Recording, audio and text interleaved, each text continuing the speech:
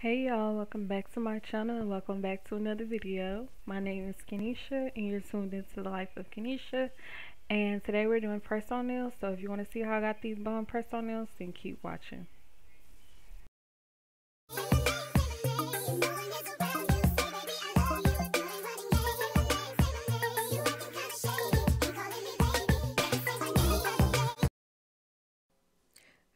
Hey babes, I know I've been missing for a while, but we're back with another video. So first thing first, we're going to start off with picking what style of nails we want, and this is the brand that I chose to use, Kiss. Um, personally, my favorite brand, um, quality nails and everything. And then we're just going to get all of our materials together. So what you just saw me pick up was some acrylic primer. I'm not sure if I was using it incorrectly, but um, I didn't like it. Um, I also have a cuticle cutter. Um, it came in like this little mini manicure set that I have. So I use that very often. Um, and what I'm just doing now is showing you all of the other tools that comes in the box. Of course, read your directions if you are new to this. And it basically just give you all the basic needs and steps on what to do to apply your nails. But this is by far my favorite nail glue. Um, I probably have like 10 of these right now. But um, that is just the pink gel. I'm not sure if that makes a difference in the whole, but I personally keep my nails on for two to three weeks. Um, and this is without any acrylic on my nails, just simple nail glue. And it also comes with this cuticle pusher as well as the little mini file that you guys see.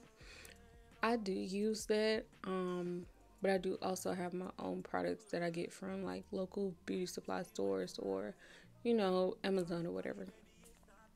So I'm just gonna push my cuticle back and uh, I'm gonna go ahead and cut off any excess cuticle um, that I see that can be trimmed. And after I'm done with that, I'm just going to file my nails. Um, don't do what I do with the cuticle um, cutter. Anytime I have a hangnail, I make it worse by taking the cutter and cutting it. Don't do that. You're going to mess up your hands. So please don't follow my directions and doing so with that. But I'm just showing you guys what I'm doing. And that's pretty much what happened there. Um, when you guys saw me get the nail clipper, I had a hangnail that had to go. and I pretty much just made it worse. So, yeah.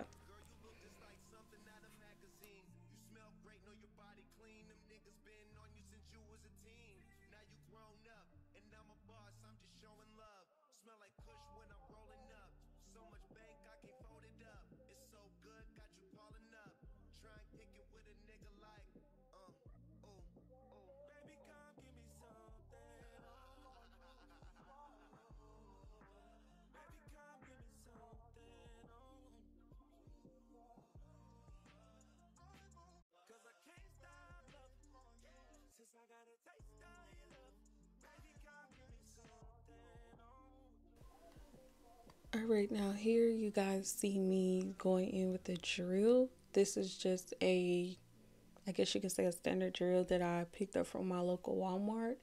Um, what I like to do is just get off any excess glue that I've had from a previous um, install or any cuticle that I've missed. Um, I just go back in with the drill bit and I try and, you know, um, get rid of all of that.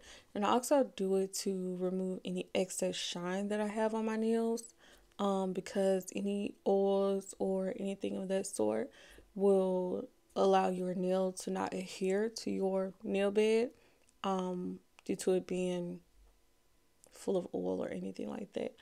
So that's just what I go in with, and I am very thorough in doing so. So you may see me taking my time and trying to steady my hand and everything. So I pretty much just do that. Um, and then I go back in with a little mini nail file just to show you guys that you do um, have that option to do so. You don't have to do what I do. And I know it may look like my nails are um, not as I guess you can say dry or powdery from me drilling my nails. Um, I do go in with a alcohol pad on a cotton round just to clean up my nails and everything. Um, and more so like dehydrate it because essentially you're supposed to dehydrate your nails before you do anything to prevent fungus or moisture or anything like that in your nails. Um, I personally haven't had any issues with mine, but um, to keep hygiene and everything okay, I personally just go in with a cotton round and some alcohol, um, 90% isopropyl um, alcohol. I don't know if I'm saying it correctly, but the clear alcohol, um, that's the one that I go in with. And what you see me doing right here is just sizing my nails. Um, I think that these had numbers on them. So I was able to just find the nail by looking at the numbers. I have had some nails um, that doesn't have the numbers on there. And I just have to like wing it and try and figure out which one is which. And if you see me pushing the nail in, um, I try and go under my cuticle, if that makes sense. I'm not sure if I'm explaining it in a proper manner for you guys, but I try and like push it under my cuticle. Um, that's why I try to get as close to the camera as possible so that you guys will see exactly how I was putting it on because that's how I'm going to glue it on. So maybe that plays a part in how I keep my nails on so long, but that's just what I'm doing. So I'll let y'all watch me go through and pick out these nails and everything, and I'll be back and show y'all how, how I install them.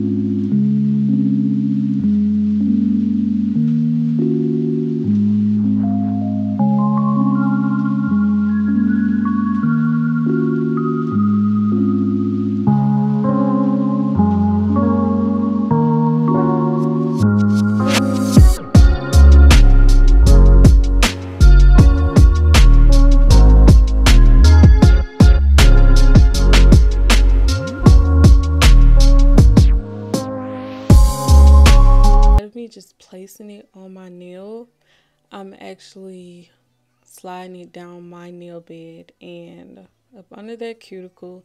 And once I get it good up under there, I just press it down really, really hard. and I usually prevent any um, bubbles in my nails or underneath the nail rather. Um, and it usually stays on and lays pretty flat for me. So I'll show you guys that one more time and then I'll show you guys the finished result.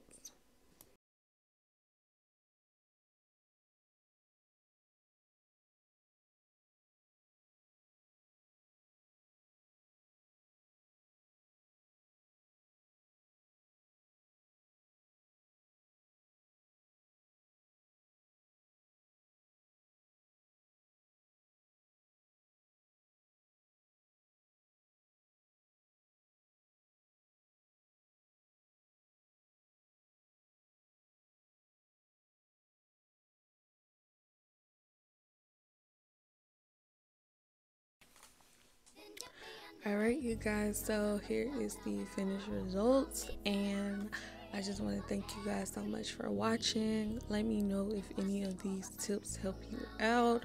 Let me know if you decide to try press on nails. Like, just leave me some feedback in the comments. Thumbs up if you liked it, thumbs down if you didn't. Um, and let's chat in the comments.